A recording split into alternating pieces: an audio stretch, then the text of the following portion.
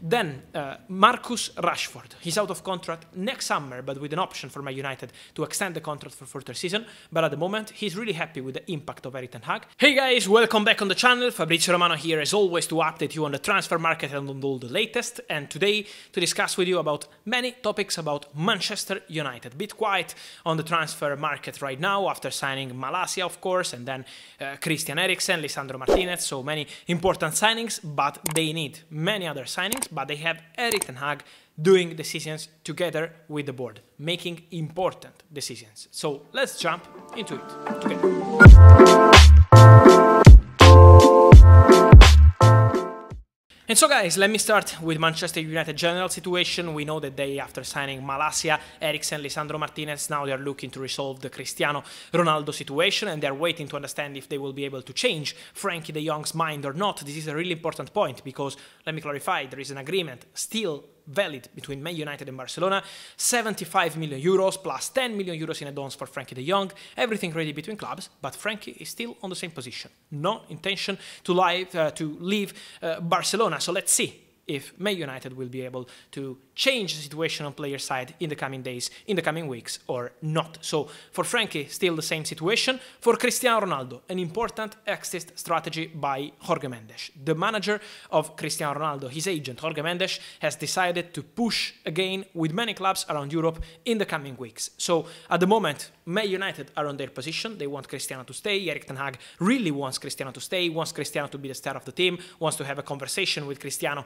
then understand if he wants to be uh, the star of Man United or if he still wants to leave, but what I'm told is that Jorge Mendes is planning for new direct contacts with many clubs around Europe and not only in the coming days. So Mendes will be on it again. At the moment it's a no for Thomas Tuchel. It's a no in public from Bayern and let's see if Mendes will push again because I'm told that he has intention to try again with all these clubs and also with Atletico Madrid. They need to sell players like Morata, there is Juventus interested, Saul, let's see what happens. But once they will sell players, maybe from Atletico Madrid, they will have some opportunities to sign new players in general, because now they're going for Nahuel Molina, and let's see if Mendes will push again for Ronaldo also there. But his intention is to try and try again around Europe for Ronaldo also in the next week and in the next two weeks. So Ronaldo remains an important name on the market, and the exit strategy for Mendes is the same of last summer. Try until the end. Last summer was really difficult. Then Man City appeared at the end of August, and then Man United in 24 hours completed the signing.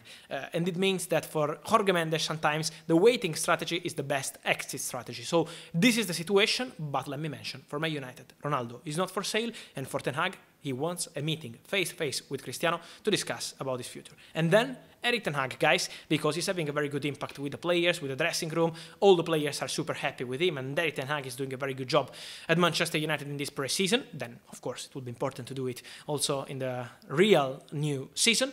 But let me mention his decision on four players. The first one, Anthony Martial, because he communicated Erik Ten Hag and the board to the player their intention, Man United, to keep the player at the club this season. Two clubs approached Man United for a potential loan deal after the loan uh, to Sevilla in January, but in this case, Man United said no, we want to keep the player and we trust Martial. He's doing very good in preseason. Uh, Ten Hag is really happy with him, and so at the moment, this is the situation. Man United want Martial to stay.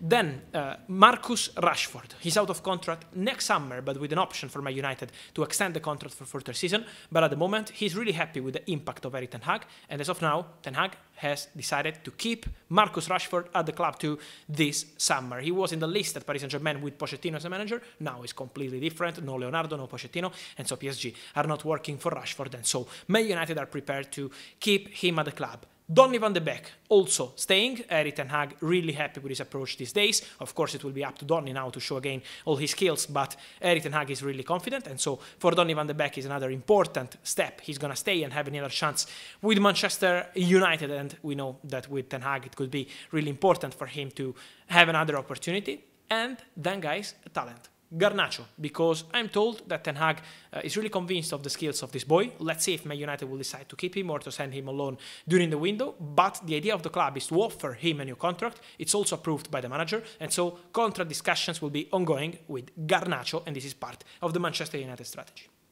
And so, guys, let me know your thoughts on this Erik Ten Hag era just started. How are your feelings? How, what do you think on Cristiano Ronaldo, on the season, on these players? I wait for your comments here, guys, as always, to understand your feeling on Manchester United situation. As always, remember to like this video, turn on the notification bell, and see you soon with Fabrizio Romano. And guys, remember to subscribe because crazy end of July and beginning of August is coming.